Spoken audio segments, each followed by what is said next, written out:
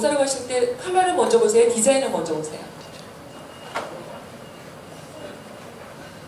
저는 가격을 먼저 보는데. 예, 그쵸. 예, 근데 머리부터 시작해서 발끝까지 사람한테는 가장 중요한 것이 내 컬러를 좀 어떤 색을 써줘야 될지가 50% 이상이에요. 그 다음에 이제 디자인이나 소재가 속하거든요. 그래서 상대방의 눈을 감게 해주시고요. 자, 끝까지 보면 안 돼요. 자, 끝까지 눈을 감고 계시고 왼손 한번 올려보시겠어요? 자, 그런 다음에 힘 줘봐 그런 다음에 팍 뛰면 누구나가 다 떨어져요. 천천히 에너지만 봐주세요.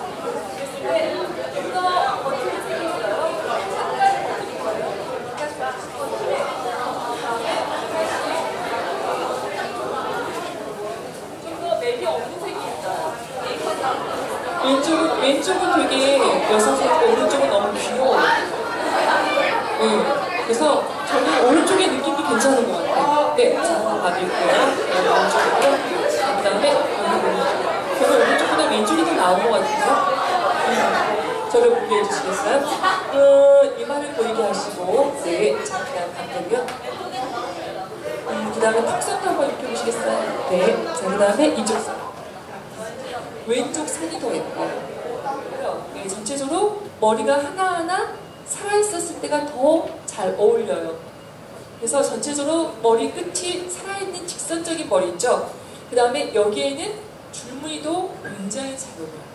줄무늬도 정말 잘 어울려요. 그래서 전체적으로 줄무늬를 했을 때가 잘 어울려요.